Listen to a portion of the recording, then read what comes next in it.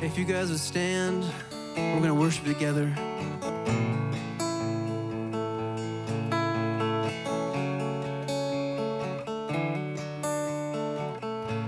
We're going to sing about this song, the song that's about how God stands with us through everything. Through good days and bad.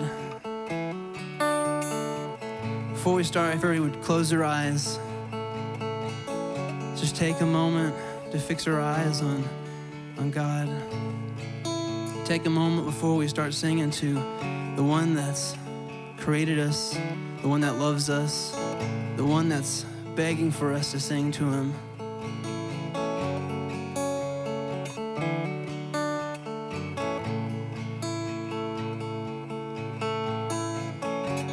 Let's sing this together.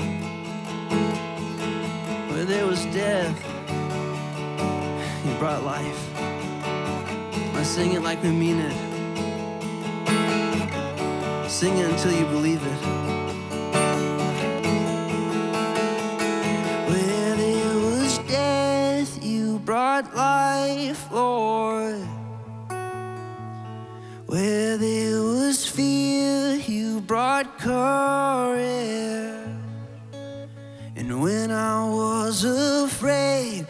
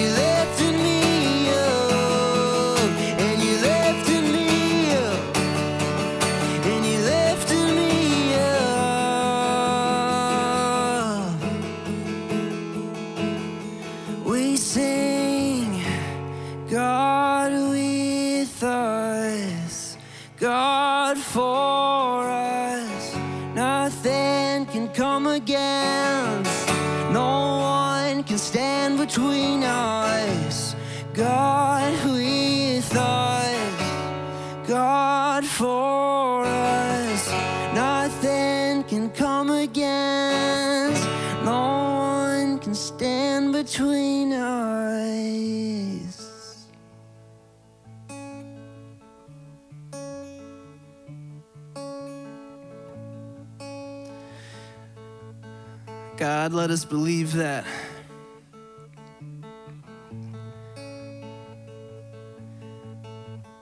Now, there's nothing that can come between us. Nothing can take away the love you have for us. God, God, tonight would you would you give us a desperation for you? I love you, Lord. Amen.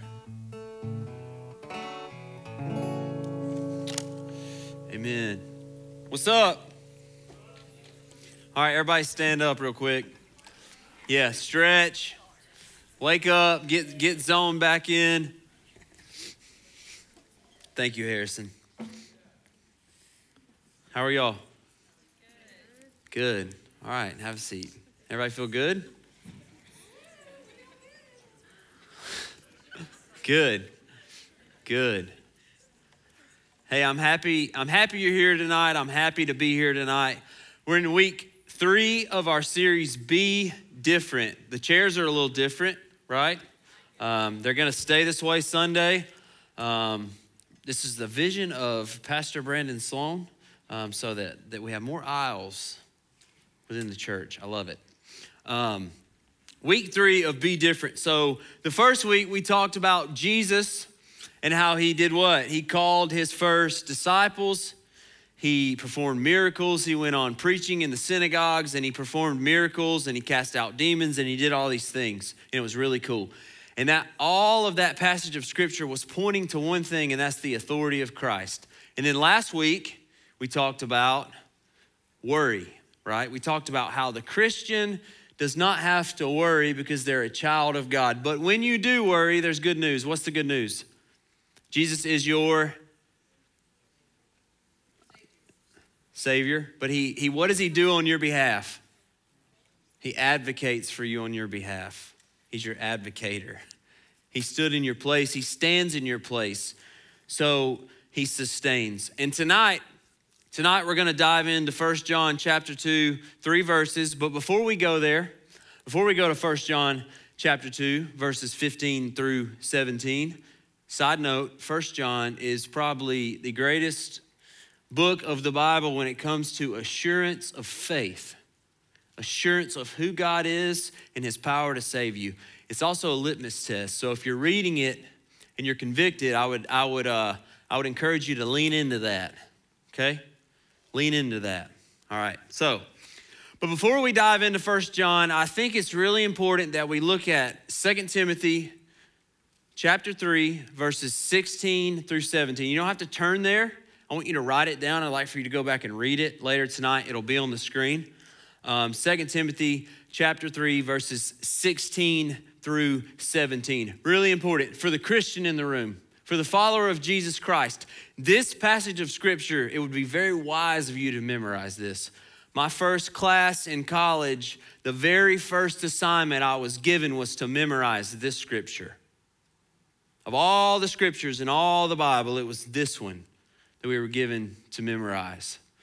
All scripture, all of it, in its entirety, from, from Genesis to Revelation, all scripture is breathed out, meaning that it is God's word. He spoke it through prophets and apostles who wrote this down. It is God's word. It's all breathed out by God and profitable for teaching, reproof, correction, and training in righteousness. That the man or the woman or the student or the child or whatever of God may be complete and equipped for every good work. Like this is it. Okay? If Jesus Christ is your Lord and Savior, and you live here in America where we don't face persecution like in Nepal, and where we do have access to Bibles on our phone, I got like four different versions and 20 different Bibles in my office. Like, like everyone has a Bible. If you don't have a Bible tonight, I'll give you mine. I'll give you mine with all its notes. I'll give you my Bible. I'll go get another one. I'll go buy you a Bible. But we have a Bible. And God has revealed everything we need to know about Him in His Word. Everything that we need to know. Every single attribute of God is found in his word. And in countries and places overseas where, where this is illegal to have, God's revealing himself to people in other ways through visions, through dreams, and he can absolutely still do that here. He's God, he can do whatever he wants. But what I'm telling you is that if you have this, you have all of the scripture that was breathed out by God. And it would be very beneficial for you as a follower of Christ to feast on it, to take it in. In the context of 2 Timothy 3 16 through 17, the reason that this matters for 1 John chapter 2 is this is that Timothy, or Paul is writing, and, and, and the context of, of these two verses before and after it are this. He's writing to encourage believers. He's telling them that, hey, everyone around you that's of the world is going to go on prospering in and of the things of the world. You will be persecuted. You will be reviled for your faith. You will be made fun of. You will be shut off. You will not be spoken to. You will not be liked because of your faith. But, Christian, hold fast and trust that all scripture is breathed out by God and is profitable for you, for your teaching, for reproof, for correction, and for training in righteousness. It is going to teach you how to walk hand in hand with your Savior, how to have an intimate relationship with Jesus. Because if you're a follower of Christ and you've been born again, the Holy Spirit that dwells within you is going to reveal the truth of who God is, that He's rich in mercy, that He's loving, that He's gentle, that He came and He sent His Son to save you. And all this is found in Scripture. Something else is found in Scripture. By reading Scripture and focusing on the truth, you'll be able to identify and see when things ain't right. Okay, you'll be able to identify and see when things are not of God. And you'll know to turn and run. Or maybe you'll know to share the gospel in that moment. So, the name of the series is Be Different. And what I don't want you to think is that you could be different in your own power or merit. No one has the ability to do that. I don't have the ability to be a better version. I don't have the ability to be different just because I want to be different. The only way we can be different is if the truth abides in us and we in it. And the truth is Jesus. He is a person. The truth is a person. And if He abides in you and you in Him, He will cause you to be different. And here's something that's really important for the, the 12 year old to the 100 year old, all ages in between. What you consume and what you feast on and what you put into your mind and your heart and your brain is going to control the way that you react and your actions and the way you respond. And if it is things of the world, it's going to be really hard for you to respond or act the way that Christ would have you to do so. But for the Christian who's not perfect in the room and still falls, if you're spending your time wanting to know God more and longing for Him to change you and longing for Him to glorify Himself through you, then there's a very good chance that He's going to do that. But you have to consume His Word. To know what? To know who He is and His attributes and to be able to spot what's not of Him.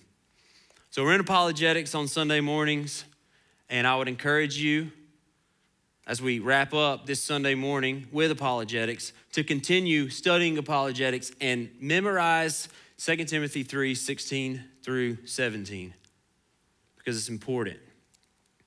All right, welcome to week three. We're just getting started.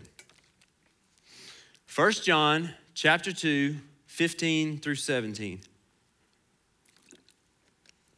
John writes, he says, Do not love the world or the things in the world. If anyone loves the world, the love of the Father is not in him. For all that is in the world, the desires of the flesh, the desires of the eyes, and the pride of life is not from the Father, but is from the world. And the world is passing away along with its desires, but whoever does the will of God abides forever. So, verse 15 would be like 15a and 15b. 15a is this side, and 15b is this side. The verse should, it could be split and written in the original language into two things, right? So, first, we have to ask the question, we have to address do not love the world or the things in the world. Does anybody know what John's talking about? It's okay if you do or don't. I had to research, I had to dig and, and study. I knew but I wanted to know for sure. So John says, Do not love the world or the things in the world. What is he talking about? What world is he talking about? Is he talking about God's creation? Is he talking about what God created or the animals or humans or any of, of those things? No, he's not.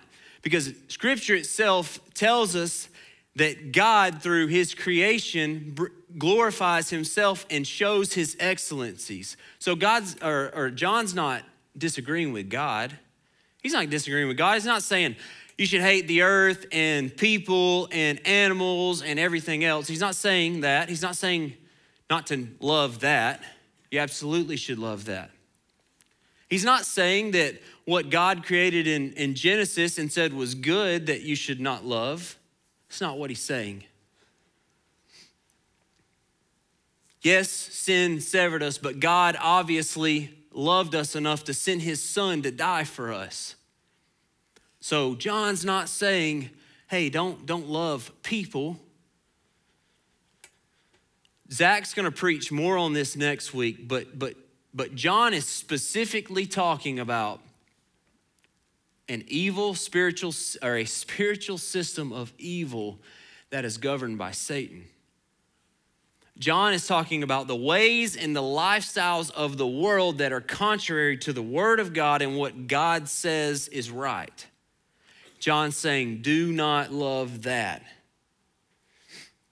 Paul speaks of this as well in Ephesians 2, verse 2. He says, You, he's, he's, he's uh, writing this letter to the Christians at the church of Ephesus, and he tells him, He says, You formerly walked according to the course of this world, same spiritual system of evil governed by Satan. This is the same language here.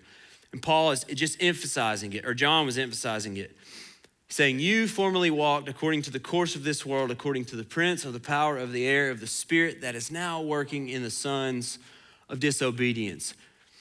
Later in this letter of First John, John writes, The whole world lies in the power of the evil one. So the ways and the teachings of the world, or the lifestyles and ways of teachings of the world, not found in God's word or warned against in God's word are not from God, they're from Satan. Okay? And here's what I don't want you to think Satan is not always some, some big old guy running around with horns on his head wearing all red. Okay? Jesus said that in the last days, and we've been in the last days since he ascended into heaven, that in the last days, false teachers and false witnesses would come out and perform all kinds of signs and wonders to maybe even make or try to persuade the elect to go astray. So he's not just talking about, about pure evil that we can see and know. He's talking about false teachers, anything that is not of God. And I'm about to share a story with you. People, places, and things are irrelevant. This happened to me a couple days ago. But in your walk with Christ, if you're living a life for Jesus and you're pursuing Jesus and you're going places to share the love of Jesus, you're going to come against opposition. You're going to come against opposition. I experienced something earlier this week that was exactly that. Two people walk into an area that I'm at where I'm ministering to someone, and they're holding some type of book that looks like a Bible. And they begin saying what they would call prayer and they begin doing it really loud to be seen by everyone that's around, and they never once mention the name of Jesus. Not once. And then they go on to announce that they're going to speak in tongues. 1 Corinthians 14, if you want to know about that, read that. They go, they go on to announce they're going to speak in tongues and cast something out of someone who they have no clue who they're even talking to. So I, being, my, being me, step away and pray and ask God, what would you have me to do right now?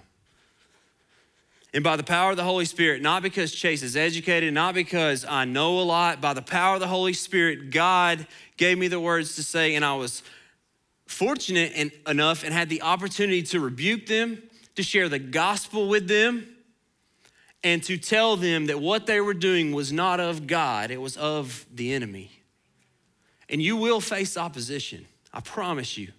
You will, if you go on mission to share the gospel of Jesus Christ, you will face opposition you will face opposition. And John is simply telling you here that there's a world that you can't see that's working against you to try and defeat you, but you can't be defeated, Christian. Nothing can defeat you if you're in Christ. So, in order to know what to say or how to react to people in love and gentleness, focus on the truth of who God is. That's why 2 Timothy is so relevant. All scripture is breathed out by God. My child, do not love the world or the things of this world.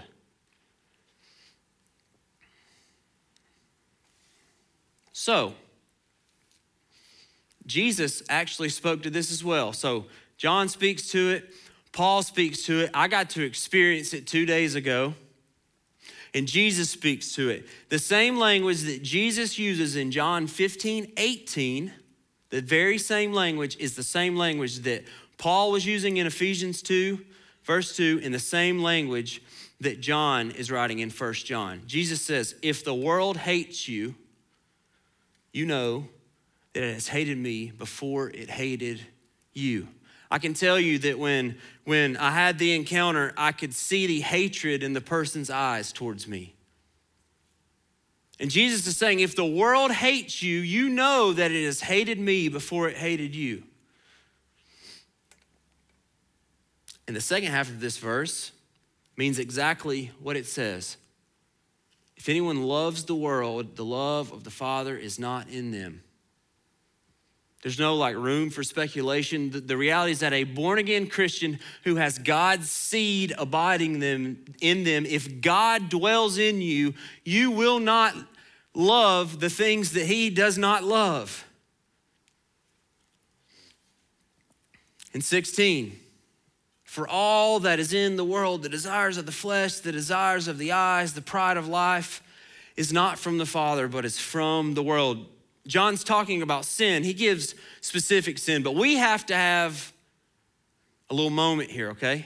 We have, we, have to, we have to be okay with having a biblical view of what sin is. It's not just a mistake, it's not just, oh, I'm messed up. Sin is breaking God's law. It is spitting in the face of your creator. I do it. You do it. We all need saving from it, but sin is lawlessness. Sin is absolute lawlessness and it completely and totally cuts us off from a living God. And I'm not telling you that to condemn you. I'm telling you that because I love you. And I'm telling you that because Jesus sent his son to rescue from that reality to rescue you from that reality, me from that reality, anyone who would repent and believe in him from the reality that you are cut off from a living God due to your sin. And, and the reality is this is that sin to the sinner is fun. It's just a part of who they are. It's a way of life for them. Their eyes are blinded to the things of God. But, but hopefully, the majority in this room, you know, for you, you've been awakened to the truth.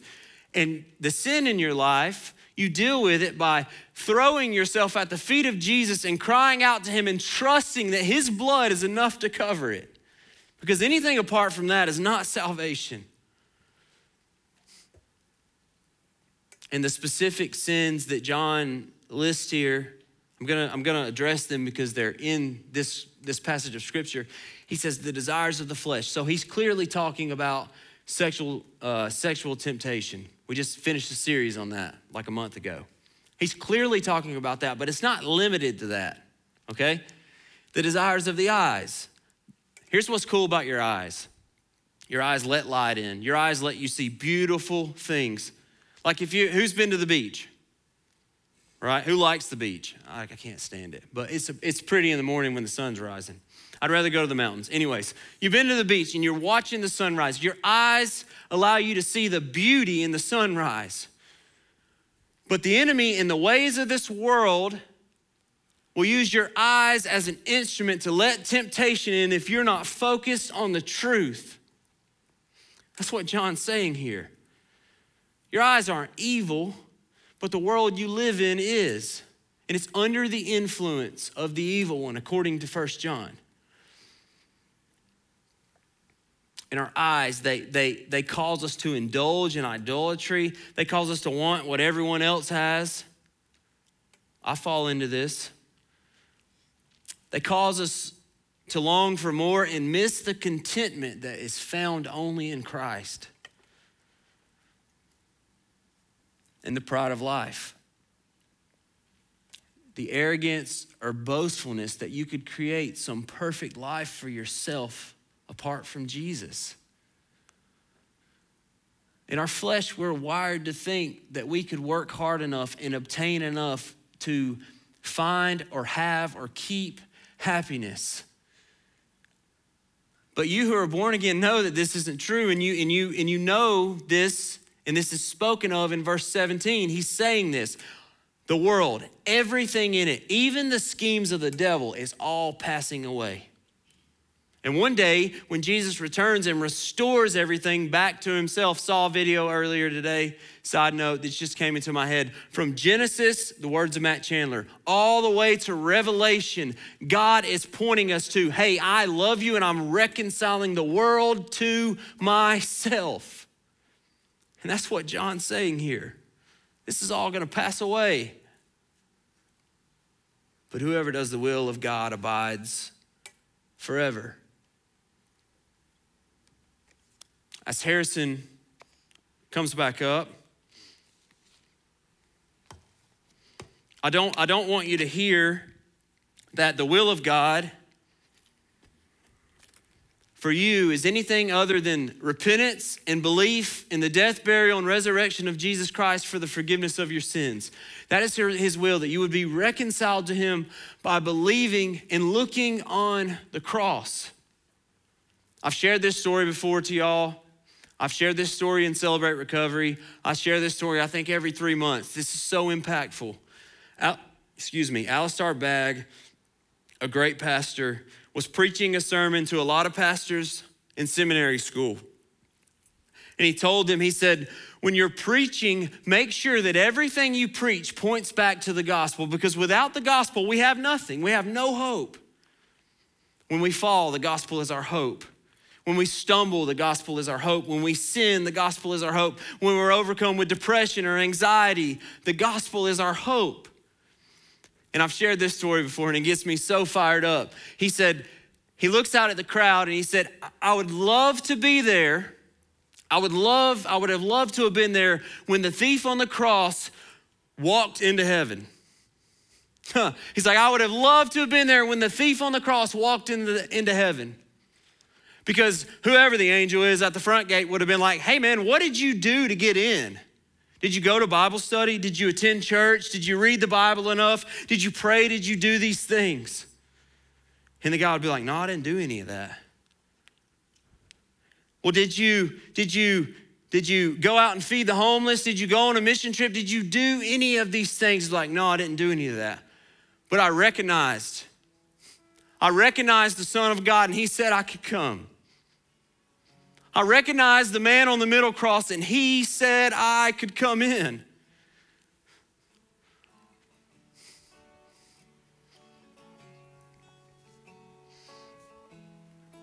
The ways of the world are never going to lead you to that type of hope. They're not for you, but if you're in Christ, your God is for you. And if you're not in Christ tonight, the offer on the table is simple repent and believe in the gospel of Jesus Christ for the forgiveness of your sins. Find someone, find a leader, find a friend, find, find whoever brought you.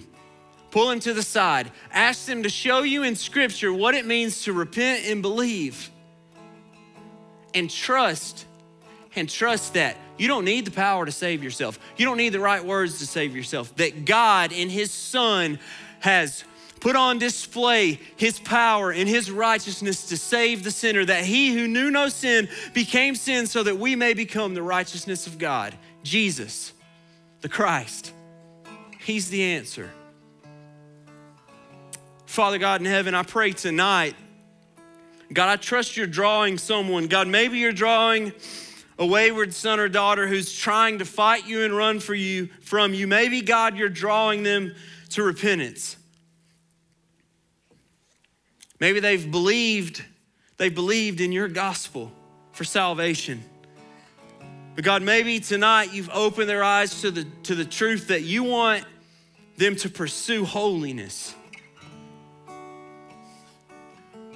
God, I pray for the other person in the room that I know you're drawing, that doesn't know you, that's far from you, that's cut off from you, that, that that thinks because of their sin, there's no way you could love them. God, I pray you awaken them tonight. That you would awaken them, you would awaken their soul to the love of Jesus Christ. And that you would meet them right where they're at.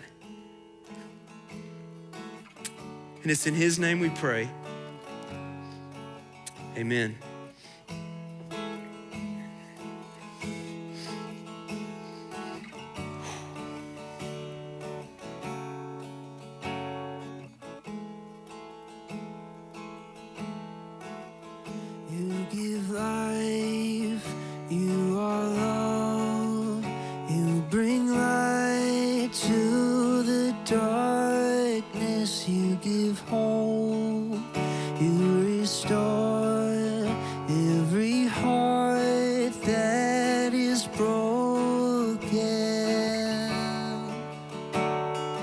grace.